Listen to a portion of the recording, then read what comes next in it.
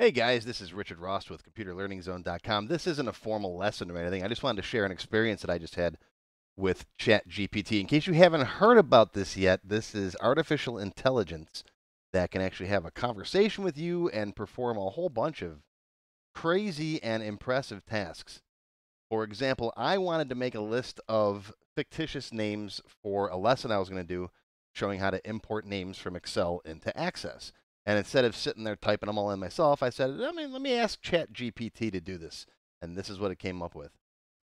Okay, so I wanted to get a list of fictitious names to put in a spreadsheet so I could use them for a lesson in Access to import data from Excel. So I asked ChatGPT, I said, give me a list of 15 fictitious names formatted CSV, comma, separate. And there you go. And great, it picked Game of Thrones, one of my favorite shows. Okay? Well, except for that last episode. We're not going to get into it. Okay, then I said, give me the same list, but separate first and last names. Okay, not a problem. Great. then I said, remove the fictitious field and add a fictional address. Right, because it has fictitious on the. Okay, no problem. and then I said, format that list so I could paste it into Excel. So it did that. But that doesn't quite copy and paste over exactly well. If you copy that and you paste it into Excel, you get, mm, it's not perfect. It's not bad, but it's not perfect. But that comma throws it off because you got two different, the address is separated into two columns. That's not exactly what I want. So let's let's keep going. Okay. Add a fictional phone number to that list. There's some fictional phone numbers. Pretty good. Okay. Add the person's age. Good approximations. I don't know if those are right or not, but I just wanted some numeric data. Okay. Uh, what happened to Cersei? You lost her after the last couple lists. Now, no, I noticed this here, right? It went from Bran Stark and then Bran Stark again. Somewhere up here, it lost Cersei. There's Cersei. And then somehow he lost her. Got Bran twice. One from Winterfell, one from King's Landing. Okay.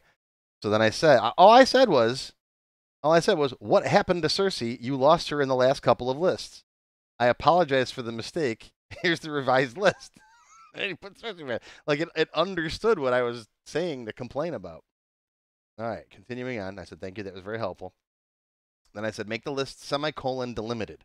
Because instead of those commas separating, because this this comma separating, you know, the city from the state, for example, I said make it semicolon delimited. There you go. Okay. Put quotes around each field. Not a problem. Remove quotes from the age field because I want that to be a data field, a numeric field. Looks good. Okay. Separate the address into city and state fields. It understood that. And then Varys, where is he? Right here, has no last name. I don't think in the show they ever mentioned a last name. So I said, make up a last name for Varys. So it just made Varys Varys. Okay, pretty cool. That was it. So with very little work, normally when I make up these fake lists myself, I would just sit there and type like a whole bunch of Star Trek names or whatever. But I just asked Chat, GPT, Chat GPT to give me a list of 15 names, and then I, I added some extra stuff, put some conditions on it, and with very little work, it added some really cool results. And so uh, this is this I, I can see the future of this becoming very useful for for tasks like this where you know you want to just tell the computer to do some things and it does the things. Now I've had some other conversations involving more creative stuff. It's it's good, but it's not great yet. So I'm not I'm not worried that it's going to take over my job yet. but things like this that require formatting, editing. You know, I, I, I, I took a transcript of one of my videos and I said, here, check this for spelling and grammar. And it returned perfectly text, perfectly formatted text. So I was like, wow. So it's getting there. So if you're interested, check it out for yourself. Here's the address right there. It's chat.openai.com. Don't everybody go all at once though, because I've tried to get on a couple times already and their servers were full. So yeah, don't yeah. So one at a time, please. don't use it all for me. Uh, but uh, yeah, it's pretty cool, and I'm I'm looking very much forward to see where this technology goes in the coming months and years.